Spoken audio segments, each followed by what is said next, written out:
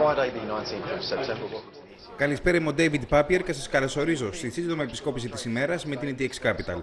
Το μεγάλο ερώτημα που όλοι περίμεναν αγωνιωδώς απαντήθηκε. Η πλειοψηφία των Σκοτσέζων ψήφισε κατά της απόσχησης στο δημοψήφισμα που έγινε χθες. Οι ενωτικοί κέρδισαν με ποσοστό 55% εναντί αυτών που ψήφισαν υπέρ της ανεξαρτησίας.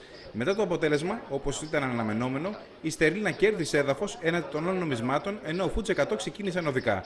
Η άλλη είδηση της ημέρας είναι ότι η μετοχή της κινέζικης εταιρείας ηλεκτρονικού εμπορίου Alibaba ξεκινά διαπραγμάτευση στο χρηματιστήριο της Νέας Υόρκης στην τιμή των 68 δολαρίων έκαστη, με χρηματιστηριακή αξία της εταιρείας να ανέρχεται στα 170 εκατομμύρια δολάρια, θέτοντας νέο ρεκόρ.